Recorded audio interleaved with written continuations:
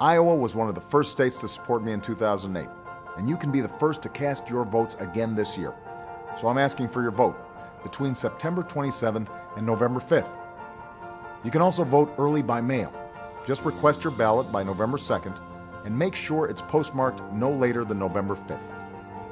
I need your help to keep moving forward. Click to learn more. Thanks, and see you out there.